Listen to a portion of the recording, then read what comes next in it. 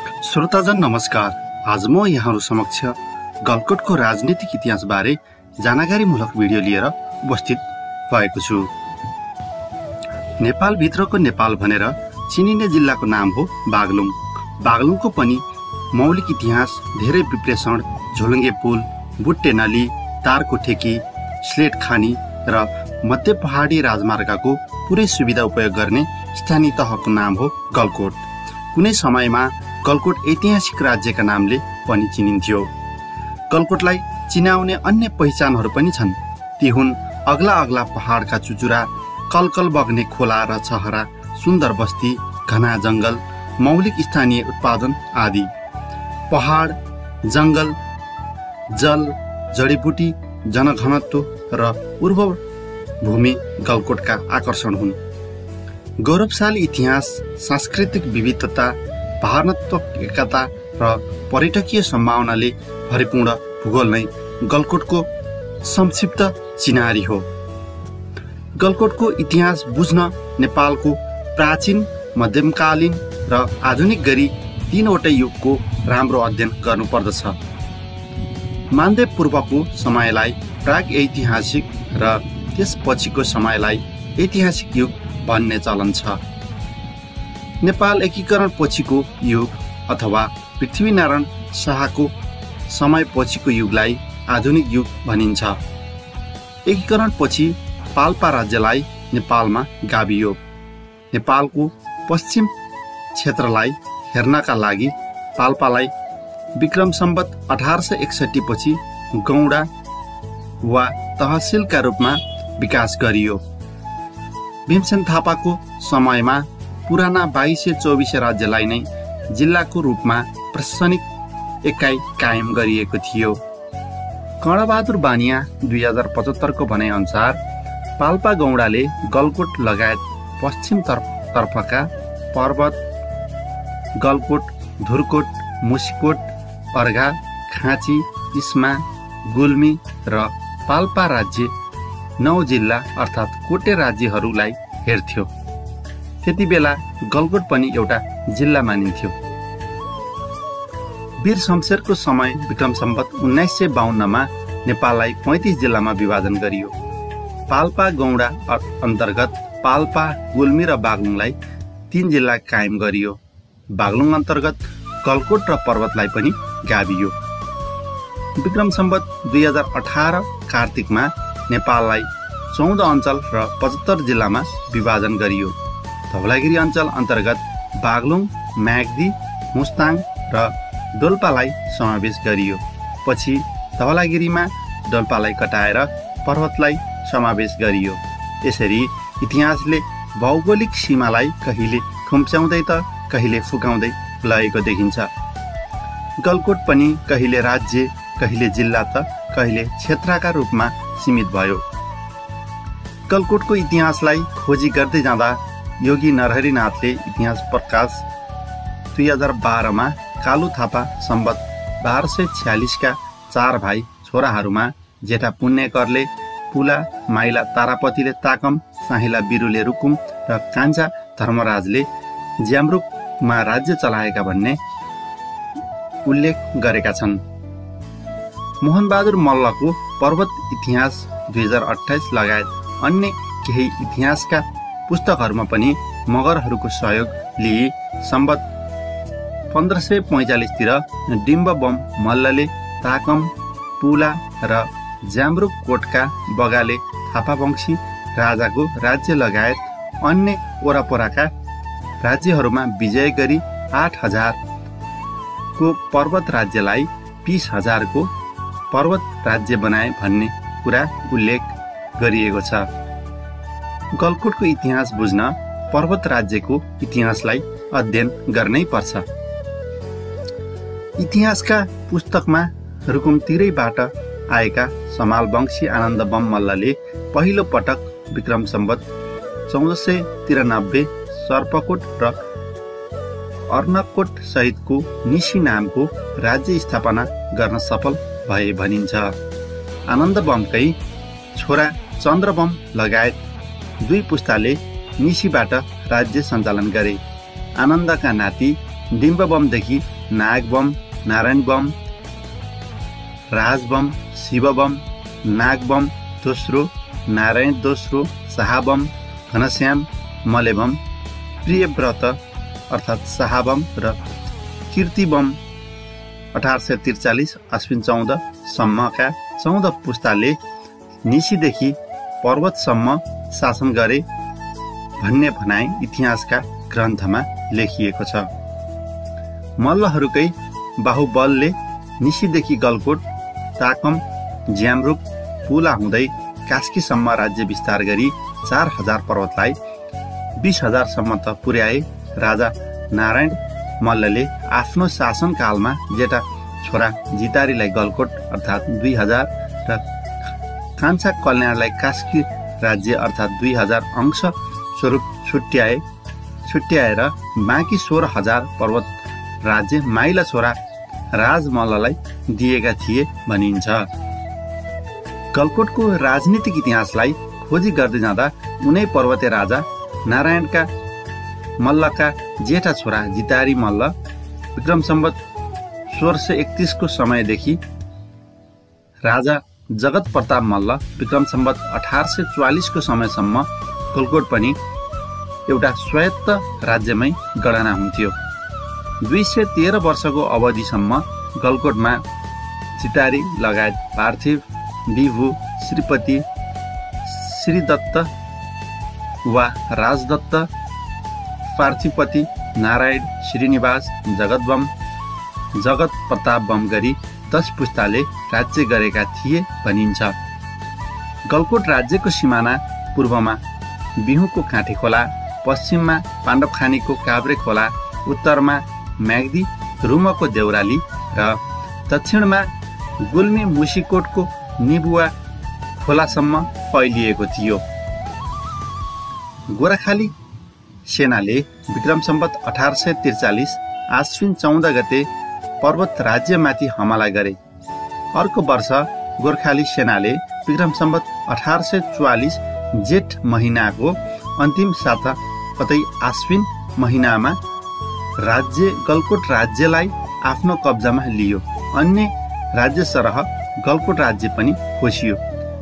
हिउँदमा सियालाको धुरीमा अवस्थित ठुलो कोट भनिने स्थान र वर्षादमा रजाराबाट सञ्चालित हुँदै आएको गोलकोट राज्य दुई सय तेह्र वर्षपछि विक्रम सम्बत अठार सय चौवालिसमा खोसियो राज परिवारका सदस्य मञ्जेश पम मल्लको भनाइअनुसार स्वायत्त गलकोट राज्य केन्द्र सरकारबाट खोसिएपछि उनै जगत प्रतापका छोरा राज्य प्रतापको समयदेखि राजा भरतबम मल्लको समयसम्म गलकोट एउटा रजौटा राज्यका रूपमा कायमै रह्यो। जगत प्रतापका जेठा छोरा राज्य प्रताप र कान्छा ज्योति प्रताप दुवै भाइको विवाह काठमाडौँ राजदरबारका कन्या अर्थात् चौतरा पुत्रीसँग भएको रहेछ। राजदरबारसँगको सम्बन्धका कारण उनै राज्य प्रतापले रु दुई सय नगद र तिन मुरी बिउको अनाज उब्जिने जमिन वीरता स्वरूप प्राप्त गर्न सफल भए। राज्य प्रतापपछि पृथ्वी बमले तेस्रो नेपाल तिब्बत युद्ध उन्नाइस सय बाह्रमा नेपाल सरकारलाई कलकोटबाट सिपाही र हात हतियार सहयोग गरेका कारण उनले राजा राज सिर्पेज रजौटा उपाधि र रु तिन सयको नगद वीरता पाएका रहेछन्। शोधकर्ता कृष्ण गौतम दुई हजार चौवालिसका अनुसार दुई हजार सत्र सालसम्म पनि गलकोटे राजालाई माना चामल र बिर्ता गरी रु छ सय उठती जग्गाको व्यवस्था गरिएको रहेछ। बिर्ता राज्यमा राजाको श्रीपेज उपाधि र सेवा सुविधा समय समयमा खुसुवा र थपट भइ नै रहन्थ्यो भनिन्छ। राज्य खोजिएपछि जगत प्रताप बम मल्ल रजाराबाट सरदाखेतमा बसोबास गर्न थाले। सरदाखेतबाट राज प्रताप पृथ्वी बम ललित बम नारायण बम र भरत बमले समेत गरी पाँच पुस्ताले राजकाज चलाए। नारायण बमकै समयमा सरदाखेतको राजदरबारमा आगो लागि भयो। मन्जेस बम मल्लको भनाइ अनुसार भरत बम मल्ल विक्रम सम्बत उन्नाइस सय अडसट्ठीमा राजा भएर उनले उन्नाइस सय अठहत्तर साल सालमा हरिचौर बजारमा नयाँ राजदरबार बनाए। तर कसै कसैको भनाइमा उक्त दरबार उन्नाइस सय नब्बे सालमा तयार भएको हो भनिन्छ। गलकोट राज्यका विषयमा त्यति धेरै प्रमाणहरू जुटाउन सकिँदैन। बुढापाकाहरूको भनाइमा पर्वतीय राजा सुरुमा स्यालाको धुरीमा अवस्थित हाल ठुलोकोट भनेर चिनिने गोलो टाकुरामा बस्न थाले।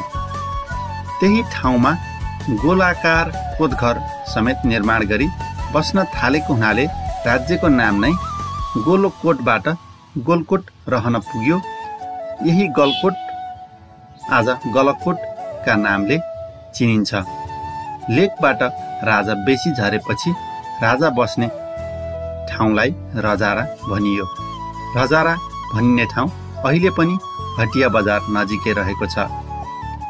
गोलकोट र रजारामा अहिले पनि पुराना भग्नावेशहरू पाउन सकिन्छ त भनिन्छ तर संरक्षणको अभावमा धेरै प्रमाणहरू लोपोन्मुख अवस्थामा छन्।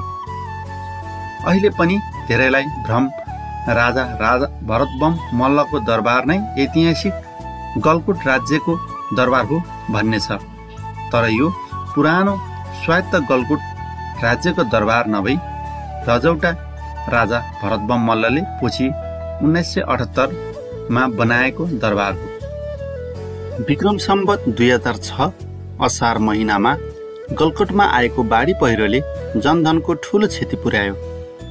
यही वर्ष अनि काल लागेपछि राजाले गलकोटमा नाम चलेका गुड्डी साहु र बास्य साहुबाट पचास मुरी कोदो रु पचास पैसा पाथीका दरले खरिद गरी जनतालाई चौपादे अर्थात् मङ्सिरमा फिर्ता गर्ने गरी वितरण गरिदिए।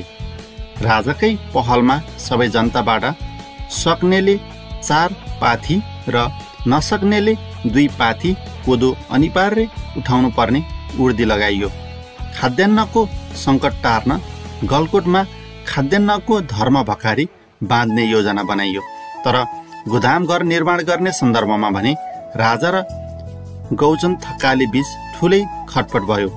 गोदाम घरका लागि जग्गा नदिँदा राजाले थकालीलाई दुई चड्कन लगाएर थुनामा राखेको र थकाली पक्षधर कार्यकर्ताले त्यसको प्रतिकार गरी राजा विरुद्ध नाराबाजी गरेका रहेछन्। राज परिवार र थकाली परिवार बीच आपसी मनमुटाव सुरु भयो। अंश र वीरता स्वरूप प्राप्त भएको गलकोट राज्य दुई हजार सात सालसम्म त सञ्चालकमा रह्यो।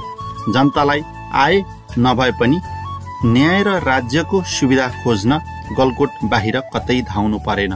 तर दुई हजार सात सालको परिवर्तनपछि भने गलकोटमा राजनीतिले कोल्टो फेर्यो। उनै भरत बम मल्लका माइला छोरा थिरबम मल्ल नेपाली काङ्ग्रेसले चलाएको सशस्त्र सङ्घर्षको नेतृत्व गर्दै गर्दा वीरगन्ज मोर्चामा शहीद बन्न पुगे।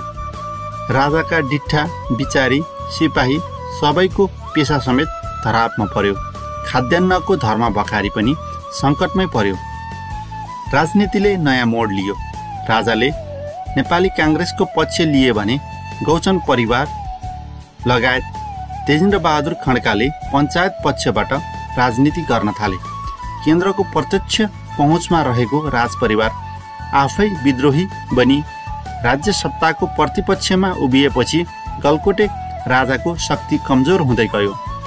पञ्चायत पक्षधरको बोलवाला हावी भयो। गलकोटमा रहेका सबै अड्डा अदालतहरू बागलुङमा सारियो।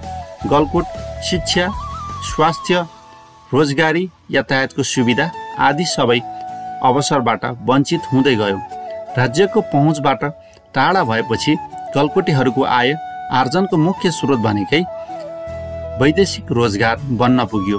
यो नियति र निरन्तरता अद्यापि कायमै छ। राजा भरत बमको स्वर्ण शमशेर र बिपी कोइरालासँग निकट सम्बन्ध थियो। राजा आफै प्रजातन्त्र प्रेमी राजा भएको हुँदा विक्रम सम्बत दुई हजार पन्ध्र सालको निर्वाचनमा उनी नेपाली काङ्ग्रेसका तर्फबाट छ्यासी नम्बर गलकोट क्षेत्रबाट निर्वाचित जनप्रतिनिधि बन्न पुगे। उनैको सरकारले देशका कतिपय क्षेत्रमा रहेका वीरता र रजौटाहरू उन्मूलन गर्ने निर्णय गर्यो। रजौटा उन्मूलन गर्नुपर्छ भन्ने प्रस्ताव यिनै भरतबम मल्लले राखेका र यसको समर्थन बझाङ्गी राजाले गरेका थिए भनिन्छ। तर दुर्भाग्यवश अठार महिना नपुग्दै दुई हजार सत्र साल पौष एक गते नै राजा महेन्द्रले जननिर्वाचित संसद र सरकार विघटन गरिदिए। करिब तिन सय छ्यासी वर्षको विरासत कायम रह गरेको राज संस्था सत्ता र शक्ति दुवैबाट च्युत हुन पुग्यो। सात सालको राजनीतिक परिवर्तनले गलकोटलाई दुई ध्रुवमा विभाजन गर्यो। यहीँबाट गलकोटमा भाइ फुटे गुहार लुटे भन्ने उखान सुरु भयो।